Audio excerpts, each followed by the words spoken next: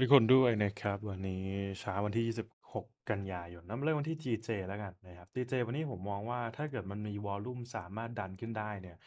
ดันขึ้นผมอาจจะรอให้มันทะลุข้างบนนี้เลยนะ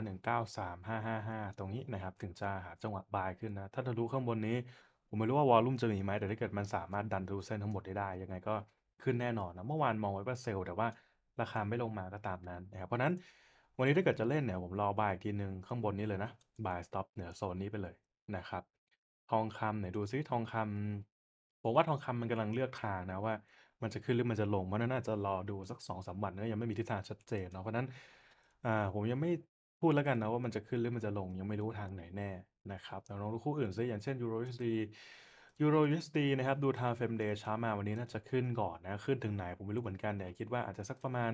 50%ของแท่งนี้ก็น่าจะประมาณตรงนี้มั้ง อันนี้คือเดาๆเนาะ เดี๋ยวดู Time Frame เล็กอะโอเค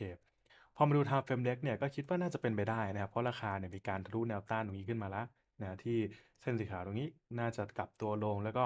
ถ้าเกิดมันสามารถทะลุข้างบนตรงนี้ได้นะแนวต้านตรงนี้เนี่ยน่าจะขึ้นได้ 30นาทีนะก็จะเป็นทรงประมาณนี้ เดี๋ยวรอหาจังหวะบายเมื่อราคาเนี่ยมันทะลุโซนนี้ขึ้นไป